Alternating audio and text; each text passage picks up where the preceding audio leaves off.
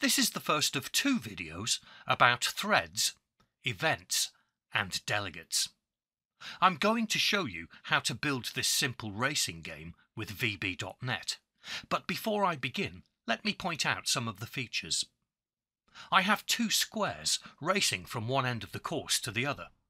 Their movement is randomized, so you can't predict which one will win. The two squares are moving independently of each other because the procedures that paint them onto the form are running on separate threads. There's a running commentary at the bottom of the form telling me who's in the lead during the race. The procedure controlling this is also running on a separate thread. It's triggered by an event which is raised whenever one square overtakes the other. I can interact with the form during the race to place a bet because the form controls are also running on separate threads.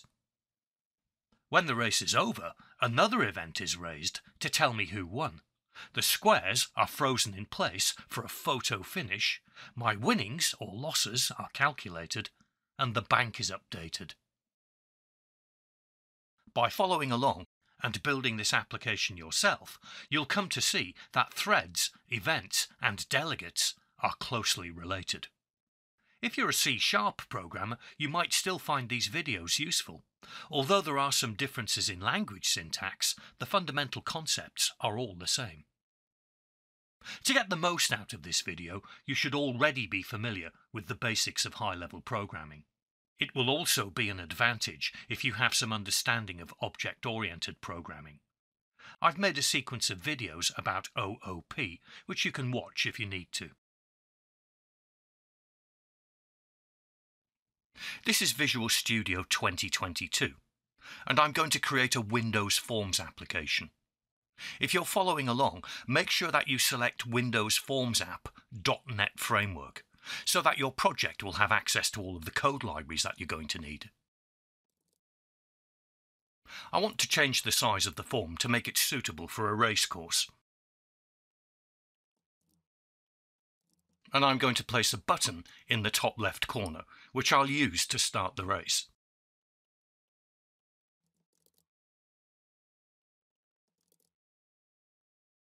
Now, I'm going to write a procedure to create the illusion of a red box moving across the screen.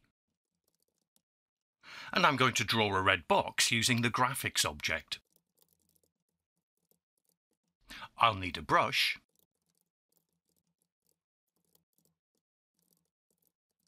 and now I'm going to call the fill rectangle method of the graphics object. Passing it the brush, where I want to draw the rectangle in relation to the top left corner of the form, and how big I want the rectangle to be. If you want to know more about the graphics object, you could watch my sequence of videos in which I create a colour mixer application. I talk about the graphics object, pens, brushes and the like in those videos. I'm going to make sure this is working before I continue. So far so good. Now, I want the x position of my red box to vary, so I'm going to replace the x position with a variable. And now I'm going to vary it within a loop. Let's see what happens now. What I'd like to do is have a pause within the loop each time I draw a red box. I'm putting the main form thread to sleep for 20 milliseconds each time I pass through the loop. I'll say more about the main form thread a little bit later. But it's starting to look more like an animation. I need to erase the previous red square before drawing the next one. You can't actually erase something from a form. You have to paint over it so I'm going to need another brush, the same colour as the form.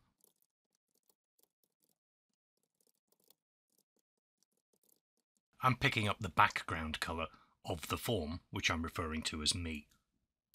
And now to draw over each red square before drawing the next one.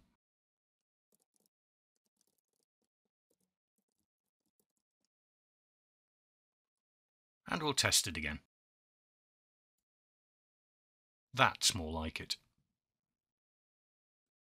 I want to introduce some randomness to the movement of this red box, or it won't be much of a competition when I have two boxes racing each other.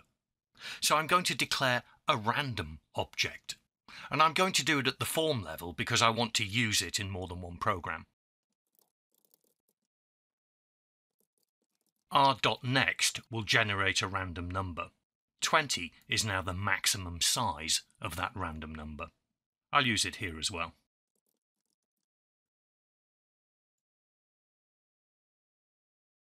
A little less predictable. I can change these values to change the pace of the race. I've slowed things down a little bit.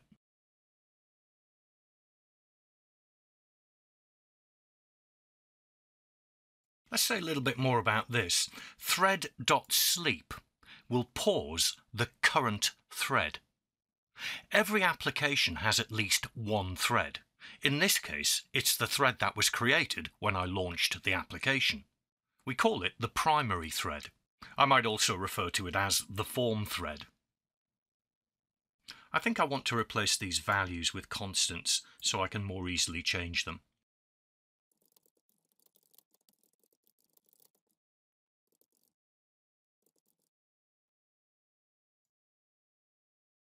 I'm retesting my application every step of the way, just to make sure I haven't introduced any new bugs.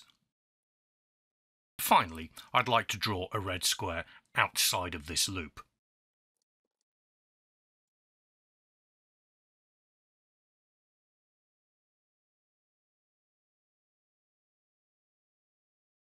So I can still see it on the form when the race is over. OK, I need a blue box now. And this is very easy. I just need to copy the procedure I've already written and make a few minor changes.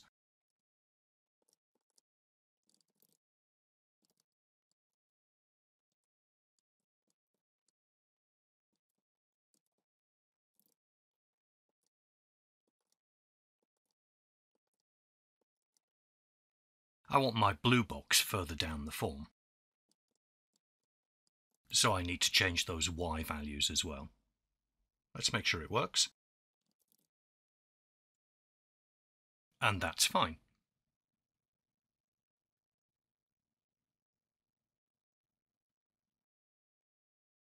Now, to run both procedures, red box and blue box, at the same time, it couldn't be simpler.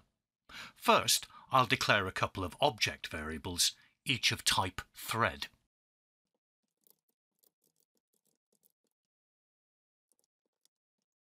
T1 and T2. I'm declaring them at the form level because different programs will need access to these later. Now I'll create two new thread objects.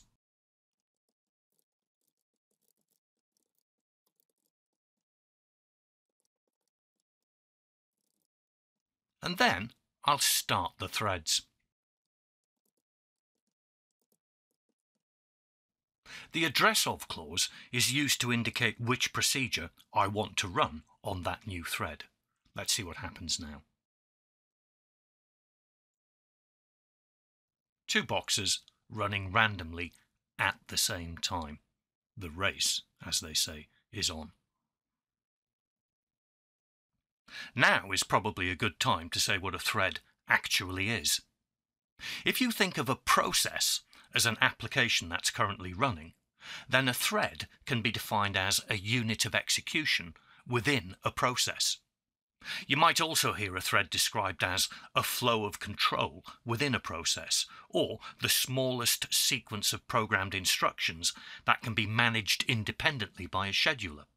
All of these descriptions are correct, but to put it simply, having multiple threads allows an application to perform multiple operations at the same time. You can effectively have several subroutines running simultaneously. I use the word effectively because each CPU core can only execute one program instruction at a time.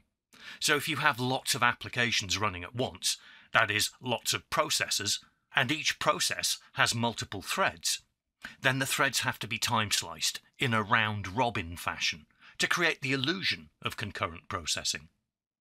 To enable this, each thread is given its own execution stack.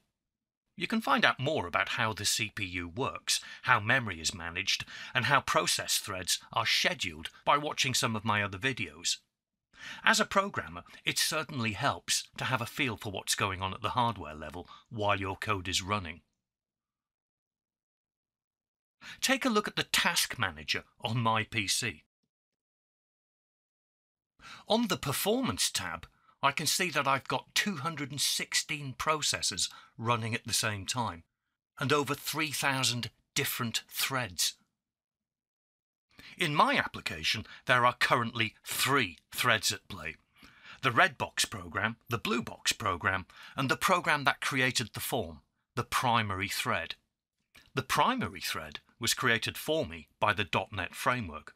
But the system.threading.thread class allows me, the programmer, to create and manage additional threads. When I call the start method of a thread object, T1 for example, I'm actually making use of a thread start delegate. In fact, I could have written this one line of code more explicitly like this.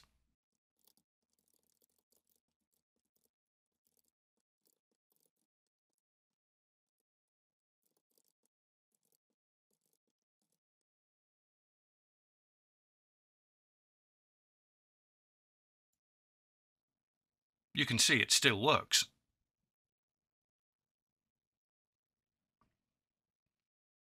I could have also done this. The syntax is a bit different, but I'm doing the same thing. Let me clarify what's meant by a delegate. You should already know that you can define a procedure or a function with parameters, so that when you call it, you can effectively say, here is some data that I want you to work with. If you've ever coded in C++, you might have come across the concept of a function pointer. In C++, you can write a function that expects to be passed a reference to another function as a parameter, so that when you call it, you're effectively saying, here's a function I want you to call for me. A delegate is .NET's answer to a function pointer. A delegate object is actually a container for a function pointer, or to put that more correctly, it's a container for a method pointer, because a method can be a function or a procedure. In this case, oThreadStart is a delegate object. It's an instance of the ThreadStart class. It's actually an intermediary, a middleman if you like, between the program being called, in this case the red box procedure, and the program that's making the call, in this case the program that runs when I click on my button. Why the middleman? Well, behind the scenes, the thread start delegate takes care of all the necessary plumbing to ensure that Redbox runs on a separate thread. A delegate needs to know the memory address of the first instruction of the method that it's delegating for. Red box and blue box are each allocated some memory space in which to run when the application is launched. This is within the memory space allocated to the application process as a whole. That is what I'm specifying here with the address of clause. The memory location of the first instruction of the red box procedure. The entry point of the new thread. I'm going to put this back to the way it was. Although this shorthand obscures some of what's really going on, I think it's more intuitive. I don't actually need to concern myself with the machinations of delegates. I can just say, hey, .NET, run this program for me on a new thread. But you can see here from the IntelliSense that I am actually using a thread start delegate. T1 and T2 are known as worker threads. They are currently running independently of each other, like two different artists painting on the same canvas at the same time. The form itself is running on a separate thread. T1 and T2 were spawned by the main form thread, which means they are its children.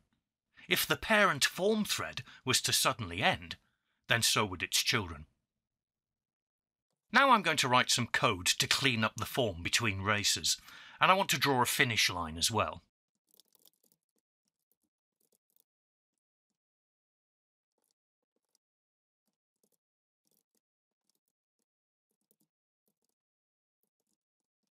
That should clear everything off the form.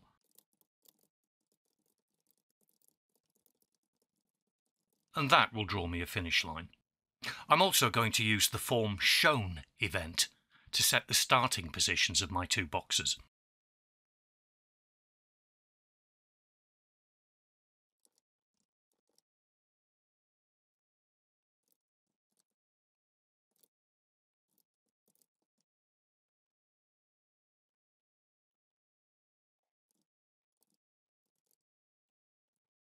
And we'll put the finish line on there for the start as well.